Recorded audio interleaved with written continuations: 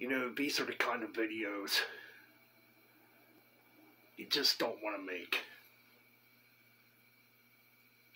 And for me, I feel like I have to make this video to pay tribute to the great, iconic, larger than life voice of Meat Loaf.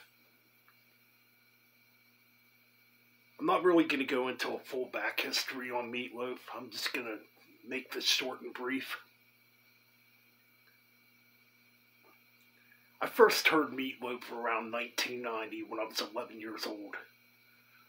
A friend of mine in junior high who actually hated heavy metal, hated hard rock, but loved Meat Loaf and Bat Out of Hell. So that's how I first heard Bat Out of Hell. But only the song Bat Out of Hell, not the whole album yet. He had this tape a Bat Out of Hell, but he would only play that song from that album, so I had no clue what the full album sounded like till maybe a couple years later when I decided to buy it for five dollars on cassette tape. And that song Bat Out of Hell, man, I really loved it when I first heard it. I thought it had excellent guitar work. I thought the vocals were excellent just very majestic and operatic sounding and larger than life sounding, really, and epic. You know, when I first heard that track, Bat Out of Hell. And I thought the album cover was just absolutely cool.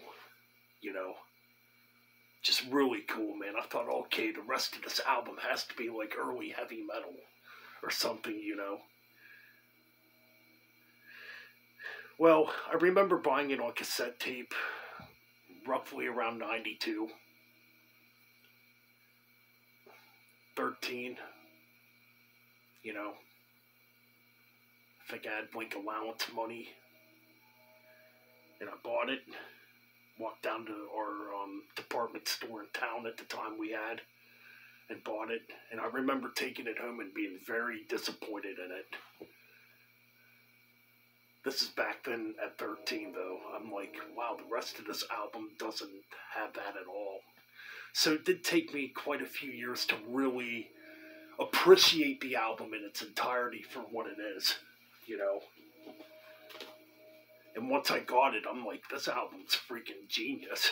It's phenomenal, or it's phenomenal, excuse me. So yeah, and it's the only Meat Loaf album I own. Bat Out of Hell. I did used to have Bat, Bat Out of Hell 3, The Monsters Loose, but I no longer have it. And what more can be said about this album? It's legendary, it's iconic, you know. It sold, well, over 43 million copies worldwide. That's pretty impressive. And, and the album still sells probably roughly around 20,000 copies still to this date each year. And I'm pretty sure now those sales are going to go back up, you know, with this unfortunate passing that has happened. And, you know, I still haven't listened to every Meat Loaf album. I mean, and that's kind of on my own ignorance. I just went by what I've read or what I've heard about certain albums. Now, as of a year ago, I decided to check out more of his studio albums that I didn't hear. Like the ones I was familiar with were Bad Out, the Bad Out, the Bat Out of Hell trilogies. Excuse me, there. Obviously, you know, Bat Out of Hell, Bat Out of Hell Two, Back into Hell, which resurrected Meat Loaf's career again when he hooked back up with Jim Steinman, who also we unfortunately lost last May.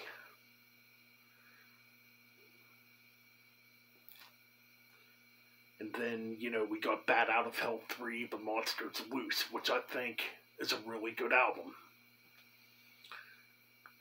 After Bat Out of Hell 3, The Monsters Loose, I did check out Hang Cool Teddy Bear. And then I just kind of fell off the radar because I wasn't really into that album at the time. Now, the albums I did revisit here Dead Ringer, which is a decent album. That would have been the follow up, you know, to Bat Out of Hell. The other album was Bad Attitude from 1984, which I actually enjoyed that album. I know Meat Loaf definitely had a downward slope in the 80s, but I think that's a very underrated album. And I definitely plan on, you know, purchasing these albums, CDs, you know, whatever, whatever physical copies I can get. But man, it's just sad, man, that we lose another iconic figure like this in music. You know, such a legendary voice a, a phenomenal performer. He put his body on the line when he performed. You know, I mean, my goodness, he performed with a broken leg. He would literally perform to the point where he would pass out after, you know, the show was over, you know, backstage. And, you know, recently he's had some pretty bad health issues, and back on September 25th, he did perform live again. It was only a couple songs, you know, where he did perform again. And he looked good and he sounded good, you know. I believe he only performed three tracks. I did watch it on YouTube the other day when I was going through checking out tributes and, you know, just old interviews with Meat Loaf you know, after hearing about the unfortunate passing that happened. And, you know, Meat Loaf also had a film career, and he had a Broadway career for a little bit back in the early 70s. 14 albums total. The first thing he ever recorded was in 1971, being a Motown album, you know, called Stoney and Meatloaf which I was actually just sampling a little bit of that before going live, and it's quite different. Also, I should mention too, before, you know, leaving, that he also did vocals on this, on five tracks. Ted Nugent's 1976 album, Free For All, you know, which is a phenomenal Ted Nugent album writing on the wall, right? I'm just looking here. Yeah. Writing on the Wall, man, it's a phenomenal track. Hammerfall. Or, excuse me, Hammer Down. Which to me, that track is like pre new wave of British heavy metal. And I always wondered, man, what would it have been like if Meat Loaf would have done a heavy metal album? Or went in a heavy metal direction, or, you know. I think he would have been a great heavy metal frontman, too, because he's a really good frontman on this album and on the five tracks he sings on. Excuse me. You know, it's been a movies, Wayne's World. You know, it's the security guard. Tenacious D and the Pick of Destiny.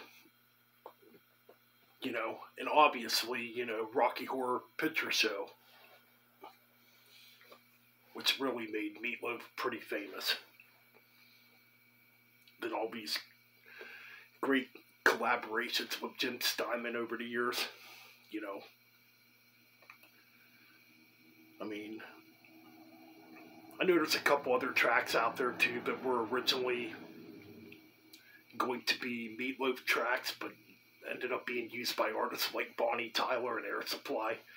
Pertainly Total Eclipse from the Heart was originally going to be a Meat Loaf song, or be used for a Meat Loaf album, I should say. But it never happened because of Meat Loaf and Jim Steinman's fallout.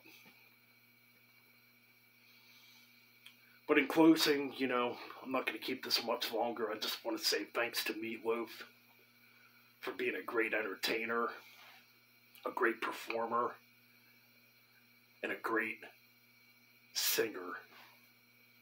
That's one thing Meat Loaf. The thing I can respect too is Meat Loaf never wanted to be called a star or a celebrity. He just wanted to be looked at. He wanted to be looked at as a singer and a vocalist and a performer. And that's all I pretty much got to say for now. Rest in peace, Meat Loaf. Thanks for the music.